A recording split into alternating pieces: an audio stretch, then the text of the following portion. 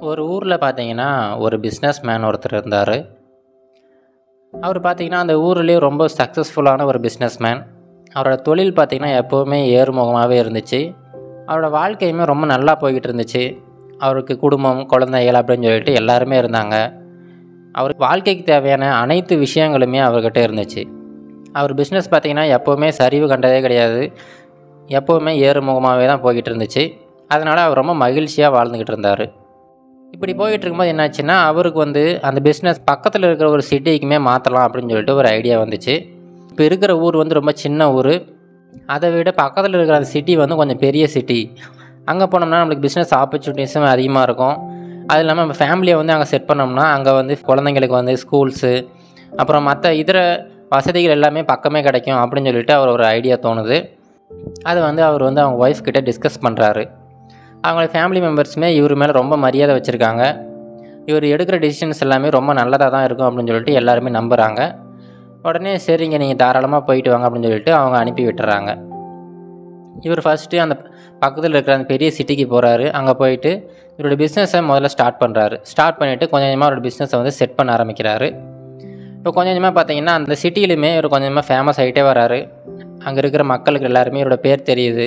இவரோட பிஸ்னஸ் வந்து கொஞ்சமாக அப்படியே பெருகிக்கிட்டே போகுது.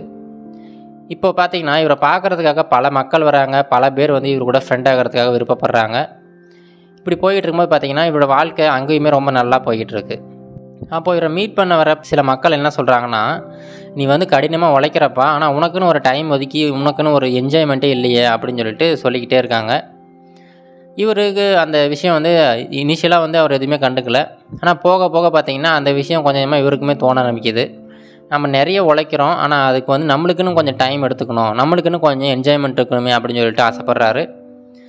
இப்போ அந்த ஒரு சில பேர் சொன்னாங்கல்ல அவங்க கூட வந்து ஃப்ரெண்ட் ஆயிடுறாரு. ஃப்ரெண்ட் ஆகிட்டு அவங்க கூட வந்து ஈவினிங் ஆனால் பார்ட்டி பப்புன்னு சொல்லிட்டு அப்படியே போயிட்டுருக்காரு அப்படியே ஒரு சில நாட்கள் கடந்து போயிட்டுருக்கு இப்போ என்னாச்சுன்னா அவங்க கூட போகும்போது எல்லாமே அவங்க வந்து அங்கே மது அருந்துவாங்க. ஆனால் இவருக்கு வந்து அது பிடிக்காது. அவங்கக்கிட்ட எல்லாருக்குமே அட்வைஸ் பண்ணுவார் ஏன் இந்த மாதிரி குடிக்கிறீங்க? இதெல்லாம் ரொம்ப உடம்புக்கு த தவறான செயல் இது அடிக்ஷன் ஆயிரும் அப்படின்னு சொல்லிட்டு அவங்கக்கிட்ட அட்வைஸ் பண்ணுவார். இப்படியே ஒரு சில மாதங்கள் போகுது.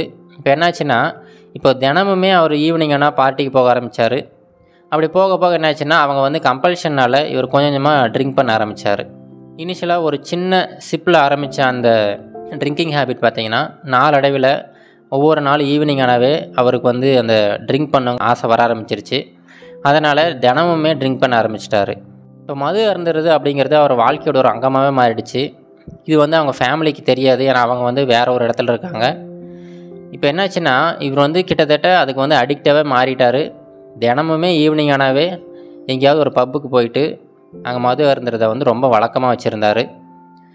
இப்போ ஒரு நாள் வந்து அவங்க ஃபேமிலியுமே இங்கே வராங்க இவரை பார்க்குறதுக்காக இங்கே வந்து பார்க்கும்போது தான் தெரியுது இவருடைய வாழ்க்கை சூழ்நிலையே வந்து மொத்தமாக மாறி இருக்கு அப்படின்ட்டு இப்போ பார்த்தீங்கன்னா ரொம்ப அடிக்ஷன் ஆகிட்டார் அடிக்ஷனால் என்ன ஆகுதுன்னா அவருக்கு வந்து ஃபோக்கஸ் ரொம்ப கம்மியாயிடுச்சு. எதுலையுமே கான்சென்ட்ரேட் பண்ண முடியல. இப்போ ஃபேமிலி மெம்பர்ஸுமே இவருக்கு வந்து ரொம்ப அட்வைஸ் பண்ணுறாங்க இது ரொம்ப தப்புங்க. இது இந்த மாதிரிலாம் ரொம்ப அடிக்ட் ஆகிட்டிங்கன்னா உங்கள் பிஸ்னஸுமே ரொம்ப பாதிக்கப்படும். நம்ம ஃபேமிலியுமே பாதிக்கப்படும் சொல்லிட்டு எல்லாருமே அட்வைஸ் பண்ணுறாங்க அவங்க அட்வைஸை கேட்டு ஒரு சில நாட்கள் வந்து குடிக்காமல் இருக்கார். ஆனாலுமே ஒரு சில நாட்கள் கழித்து மறுபடியும் அந்த பழக்கத்துக்கு அடிமையாயிடுறாரு. இது நாளடைவில் என்னாச்சுன்னா அவங்க ஃபேமிலி மெம்பர்ஸ் கூடயே இவருக்கு சின்ன சின்ன தகராறு வர ஆரம்பிச்சிருச்சு. அவங்க ஒய்ஃப் கூட பிரச்சனை வர ஆரம்பிச்சிருச்சு. அவங்க ஒய்ஃப் கிட்ட டைரெக்டாகவே கேட்க ஆரம்பிச்சிட்டாரு. ஏன்னா சம்பாதிக்கிறது நான். நான் சம்பாதிக்கிற காசில் ஒரு கொஞ்சம் எடுத்து எனக்காக நான் செலவு பண்ணிக்கிறேன். இதில் யாருக்கு என்ன பிரச்சனை அப்படின்னு சொல்லிட்டு எல்லாருமே கேட்க ஆரம்பிச்சிட்டாரு. இதனால் மற்ற எல்லாருமே அவங்க ஃபேமிலி மெம்பர்ஸ் எல்லாருமே ரொம்ப ஹர்ட் ஆக ஆரம்பிக்கிறாங்க. இந்த இது வந்து அவங்க ஃபேமிலி மட்டும் ஹர்ட் பண்ணல அவரோட பிஸ்னஸுமே கொஞ்சமாக ஹர்ட் பண்ண ஆரம்பிச்சிருச்சு. இப்போ என்னென்னா இவருடைய பெயர் வந்து நல்ல விதமாக எல்லாருக்குமே தெரிஞ்சுக்கிட்டு இருந்துச்சுல்ல. இப்போ என்னாச்சுன்னா இவர் இந்த ட்ரிங்கிங்க்கு அடிக்ட் ஆனதுனால வேறு சோஷியல் கேதரிங்ஸ் எங்கே போனாலுமே இவரை வந்து தவறாக பேச ஆரம்பிச்சிட்டாங்க. இவரை பார்த்தீங்கன்னா தவறான தகவல்கள் வந்து இந்த சிட்டி ஃபுல்லாக பரவ ஆரம்பிச்சிருச்சு. இந்த தவறான தகவல்கள் மூலமாக இந்த மாதிரி இவரை பற்றி எல்லாருமே தவறாக பேசுகிறதுனால என்னாச்சுன்னா இவரோட பிஸ்னஸுமே கொஞ்சமாக டவுன் ஆக ஆரம்பிச்சிருச்சு. எப்போவுமே ஏறுமுகத்தில் போயிட்டு இருந்த இவரோட பிஸ்னஸ் பார்த்திங்கன்னா இப்போ இறங்கு முகத்தில் இறங்க ஆரம்பிச்சிருச்சு. இது வந்து இப்போ அவருக்கு இப்போ தான் கொஞ்சமாக ரியலைஸ் பண்ண ஆரம்பிக்கிறாரு. நம்ம பிஸ்னஸ் எவ்வளோ நல்லா போயிட்டு இருந்துச்சு வாழ்க்கையில் நம்மளுக்கு எல்லாமே இருந்துச்சு ரொம்ப சந்தோஷமாக இருந்தோம். ஆனால் இப்போது கொஞ்சம் கொஞ்சமாக சந்தோஷமும் குறைஞ்சிக்கிட்டு இருக்குது பிஸ்னஸுமே டவுன் ஆகிடுச்சு ஃபேமிலி மெம்பர்ஸ் கூடமே சண்டையாக இருக்குது இதுக்கெல்லாம் என்ன காரணம் இப்போ யோசிச்சு பார்க்குறாரு இதுக்கு எல்லாத்துக்குமே மூல காரணம் என்னன்னு பார்த்தீங்கன்னா அந்த ஆல்கஹால் அடிக்ஷன் தான். இந்த மது அருந்துதல் அப்படிங்கிற அந்த அடிக்ஷன்லேருந்து எப்படியாவது வெளியில் வரலாம்னு சொல்லிட்டு அவர் எவ்வளோ ட்ரை பண்ணுறாரு முதல்ல அவர் வந்து உணர்ந்துட்டார் அதுவே ஒரு பெரிய விஷயந்தான் உணர்ந்துட்டு அதுலேருந்து வெளியே வரதுக்கு என்னென்ன முயற்சிகளும் எடுக்கணுமோ எல்லா முயற்சியும் எடுக்கிறாரு. ஆனால் எப்படியாப்பட்ட முயற்சி எடுத்தாலுமே அந்த முயற்சியில் தோல்வி அடைஞ்சிடுறாரு. ஆட்டோமேட்டிக்காக ஈவினிங் ஆனாவே அவர் வந்து ட்ரிங்க் பண்ண ஆரம்பிச்சிடுறாரு. இது அப்படியே போயிட்டுருக்கு. இது வந்து சரியாகவே படலைன்னு சொல்லிட்டு அவங்க வீட்டில் எல்லாருக்குமே புரியுது. அந்த சமயத்தில் பார்த்தீங்கன்னா அந்த சிட்டிக்கு ஒரு ஜென் குரு ஒருத்தர் வராரு இந்த விஷயம் அந்த இந்த மனிதரோட அவங்க ஒய்ஃபுக்கு வந்து தெரியுது. உடனே அவங்க ஒய்ஃப் வந்து இவங்க கூட வந்து பேசுகிறாங்க இங்கே பாருங்கள் நீங்கள் வந்து உங்களுடைய அடிக்ஷன்லேருந்து வெளியில் வர்றதுக்கு எவ்வளோ ட்ரை பண்ணுறீங்க அது எனக்கும் புரியுது. இப்போ என்னென்னா நம்ம சிட்டிக்கு வந்து ஒரு ஜென் குரு ஒருத்தர் வந்திருக்காரு. அவரை வந்து நம்ம நாளைக்கு காலையில் போய் மீட் பண்ணலாம். அவர் கண்டிப்பாக ஒரு சொல்யூஷன் கொடுப்பாரு அப்படின்னு சொல்லிட்டு சொல்கிறாங்க இவருமே அதுக்கு ஒத்துக்கிறாரு. உடனே அடுத்த நாள் காலையில் அந்த மனிதரும் அவங்க ஒய்ஃபும் சேர்ந்து அந்த ஜென் குருவை மீட் பண்ணுறதுக்காக போகிறாங்க அங்கே போயிட்டு அவரை மீட் பண்ணுறாங்க இவர் வந்து இவர்கிட்ட இருக்கிற அந்த பிரச்சனை எல்லாமே சொல்கிறாரு இந்த அடிக்ஷன்லேருந்து வெளியே வரவே முடியல. இது வந்து எனக்கு ஒரு பெரிய பிரச்சனையாக இருக்குது பிஸ்னஸ்லேயே ஆகட்டும் என் ஃபேமிலி ஆகட்டும் ரொம்ப பெரிய பிரச்சனையை உண்டு பண்ணிக்கிட்டு இருக்கு. இது பிரச்சனைன்னு தெரியுது. ஆனாலுமே அதுலேருந்து என்னால் வெளியே வரவே முடியலைங்க. ஏதாவது ஹெல்ப் பண்ணுங்கன்னு சொல்லிட்டு இவர் கேட்குறாரு உடனே அந்த ஜென் குரு எல்லாத்தையுமே ரொம்ப அமைதியாக கேட்குறாரு கேட்டுட்டு சரிங்க உங்கள் பிரச்சனை என்னன்னு எனக்கு புரிஞ்சிருச்சு. நீங்கள் இதே டைமுக்கு நாளைக்கு காலையில் வாங்க. நான் வந்து உங்களுக்கு சொல்யூஷன் சொல்கிறேன் அப்படின்னு சொல்லிட்டு சொல்லி அனுப்பி விட்டுறாரு. இவங்களுமே வீட்டுக்கு கிளம்பி போயிடுறாங்க. மறுபடியும் அடுத்த நாள் காலையில் அந்த மனிதரும் அவங்க ஒய்ஃபும் வந்து அந்த ஜென் குருவை மீட் பண்ணுறதுக்காக வராங்க. வரும்போது பார்த்திங்கன்னா அந்த ஜென் குரு வந்து ஒரு பெரிய மரத்தை வந்து அப்படியே கட்டி பிடிச்சிக்கிட்டு இருக்காரு. இவங்க வந்து பார்க்குறாங்க ஐயா என்னாச்சு? அப்படின்னு கேட்குறாங்க அது ஒன்றும் இல்லை. நீங்கள் ஒன்று பண்ணுங்கள் இன்றைக்கி வேண்டாம். நீங்கள் நாளைக்கு காலையில் வாங்க. நான் உங்களுக்கு இதுக்கான சொல்யூஷன் சொல்கிறேன் அப்படின்னு சொல்லிட்டு சொல்கிறாரு உடனே சரி இவர் ஏதோ வேலையாக இருக்கார் போகிற அப்படின்னு நினச்சிக்கிட்டு அவங்களுமே கிளம்பி போயிடுறாங்க. இப்போ என்னென்னா மறுபடியும் அடுத்த நாள் காலையிலுமே வராங்க. வந்தால் மறுபடியும் ஜென் குரு வந்து அந்த மரத்தை வந்து கட்டி பிடிச்சிக்கிட்டு நின்றுக்கிட்டு இருக்காரு. இவங்க வந்து கேட்குறாங்க ஐயா என்னாச்சுங்க? இந்த என்ன பிரச்சனையா? அப்படின்னு கேட்குறாங்க அதெல்லாம் ஒன்றும் இல்லைங்க.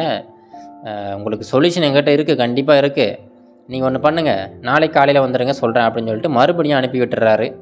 இவங்க வந்து ரொம்ப சங்கடமாக ஃபீல் பண்ணுறாங்க என்ன சொல்யூஷன் இருக்குன்றாரு நான் சொல்ல மாட்டேங்கிறாரு அப்படின்னு சொல்லிட்டு ரொம்ப ஃபீல் பண்ணுறாங்க சரி பரவாயில்லன்னு சொல்லிட்டு போயிட்டு திரும்ப அடுத்த நாள் காலையிலுமே ரெண்டு பேரும் வராங்க. இப்போவும் பார்த்தீங்கன்னா அந்த ஜென் குரு வந்து அந்த மரத்தை கட்டி பிடிச்சிக்கிட்டு தான் நின்றுக்கிட்டு இருந்தார். உடனே இந்த பிஸ்னஸ்மேன் வந்து கேட்குறாரு ஐயா உங்களுக்கு என்ன ஆச்சு? இந்த மாதிரி நான் வந்து உங்ககிட்ட தெளிவாக தானே சொன்னேன். எனக்கு வந்து ட்ரிங்கிங் அடிக்ஷன் இருக்குது அதுலேருந்து வெளியில் வரணும் அப்படின்ட்டு நான் தெளிவாக சொல்லிட்டேன். அதுக்கான சொல்யூஷன் தானே கேட்குறேன் ஏன் சொல்ல மாட்டேங்கிறீங்க? அப்படின்னு சொல்லிட்டு அந்த மனிதர் கேட்குறாரு உடனே அதுக்கு ஜென் குரு சொல்கிறாரு உங்களுக்கான சொல்யூஷன் எங்கிட்ட இருக்குதுங்க. ஆனால் என்னாச்சுன்னா இந்த மரம் இருக்குது பார்த்தீங்களா இந்த மரம் வந்து என்னை பிடிச்சிக்கிட்டு விட மாட்டேங்குது. இந்த மரம் எப்போ என்னை விடுதோ அப்போ தான் வந்து நான் உங்களுக்கு அந்த சொல்யூஷன் சொல்லித்தர முடியும். இந்த மரம் என்னை விட மாட்டேங்குதுங்களே அப்படின்னு சொல்லிட்டு அந்த ஜென் குரு சொல்கிறாரு இதை கேட்ட உடனே அந்த பிஸ்னஸ் மேனுக்கு ரொம்ப அதிகமாக சிரிப்பு வந்துடுச்சு ரொம்ப சத்தமாக சிரிக்கிறாரு. சிரிச்சுட்டு என்ன ஐயா சொல்கிறீங்க நீங்கள் தான் மரத்தை பிடிச்சிக்கிட்டு இருக்கீங்க. மரம் போய் உங்களை எப்படி பிடிக்கும்?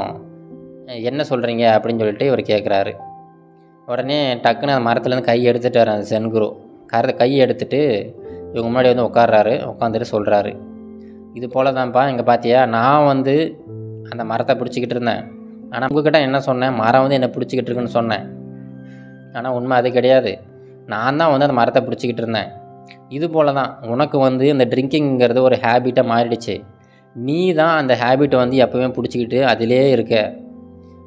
அந்த ட்ரிங்கிங் ஹேபிட் வந்து உன்னை பிடிச்சிக்கிட்டு இல்லை. இதை மட்டும் நீ தெளிவாக புரிஞ்சுக்கிட்டினாவே போதும். தாராளமாக நீ வந்து வெளியில் வந்துடலாம் அப்படின்னு சொல்லிட்டு சொல்கிறாரு அது மட்டும் இல்லாமல் இவர் வந்து அதுக்கப்புறம் அந்த ஹேபிட்னா என்னன்னு சொல்லிட்டு அவங்களுக்கு கொஞ்சம் எக்ஸ்ப்ளனேஷனும் கொடுக்குறாரு.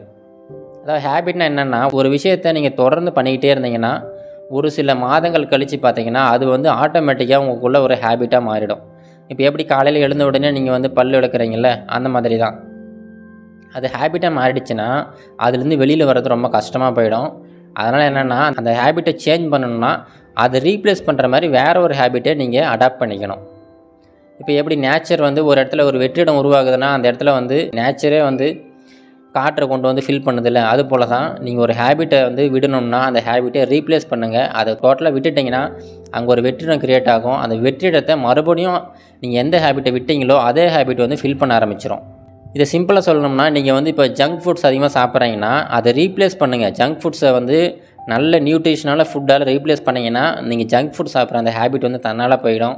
இப்போ காலையில் நீங்கள் சீக்கிரமாக எழுணும்னு நினைக்கிறீங்க எழ முடியறதில்ல அப்படின்னா நீங்கள் லேட்டாக எழுறதை தவிர்த்திங்கனாவே சீக்கிரமாக எழுந்துருவீங்க ஆட்டோமேட்டிக்காக அது வந்துடும் இது போல் தான் இப்போ உங்களுக்குமே ட்ரிங்கிங் ஹேபிட் இருக்குன்னா அதை ரீப்ளேஸ் பண்ணிவிட்டு வேறு ஏதாவது ஒரு இதில் நல்ல விஷயத்தில் ஃபோக்கஸ் பண்ணுங்கள் ஆட்டோமேட்டிக்காக இந்த ஹேபிட் வந்து உங்களை ரீப்ளேஸ் பண்ணிடும் இந்த நல்ல ஹேபிட் வந்து உங்களை வந்து டாமினேட் பண்ண ஆரம்பிச்சிடுச்சுன்னா இந்த கெட்ட ஹேபிட்ஸ் எல்லாமே உங்களை விட்டு போயிடும் அப்படின்னு சொல்லிட்டு அந்த ஜென் குரு சொல்லி அனுப்பி விடுறாரு. இப்போ தான் பிஸ்னஸ் மேனுக்குமே புரியுது.